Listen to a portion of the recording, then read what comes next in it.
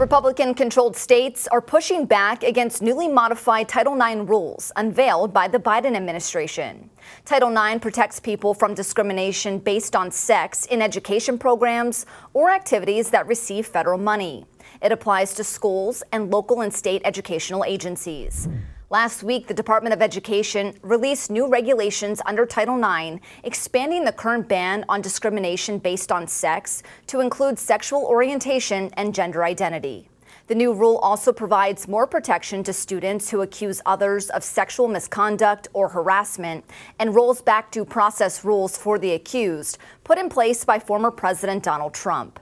The new rule does not directly address the issue of transgender girls and women playing on women's and girls' sports teams. The new regulations clash with laws already on the books in many red states. In a letter this week, Louisiana's education chief told schools to ignore the new regulations, stating they violate existing state laws. He said the new rules would force schools to allow biological boys and men who identify as female to have access to women's and girls' bathrooms and locker rooms in public schools, or the school could face sanctions. He also warned districts the new rule could force educators to reference students by names and pronouns not consistent with their biological sex, and also erode parent notification of such student desires.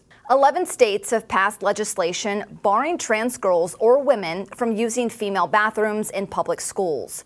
24 other states, including Louisiana, have also passed laws preventing trans student athletes from participating on sports teams consistent with their gender identity. The new Title IX rule directly opposes these state laws, stating separating people based on sex is unlawful when it harms a protected individual, such as when it denies a transgender student access to a sex separate facility or activity consistent with that student's gender identity. Ryan Walters, Oklahoma's top education official, sent out a letter to all superintendents across his state saying, I believe these rule changes are illegal and unconstitutional.